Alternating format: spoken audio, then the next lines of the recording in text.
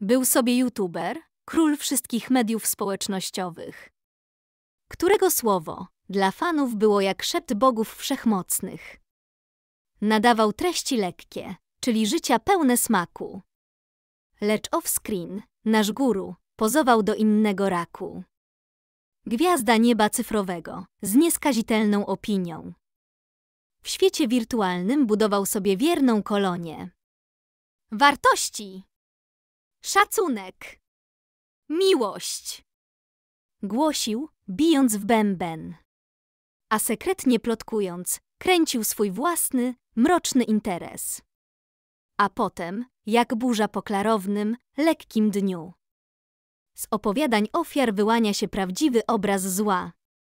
Nagle, z blasku afektów, bohater spada głęboko, a jego niewinność rozpada się, niczym domino. Nie ja! To pomówienia! Kłamstwa! Krzyczy z rozpaczy. Ale w sieci, co kręciła, teraz sam się plącze. I tak oto upada, na ruinach własnej władzy.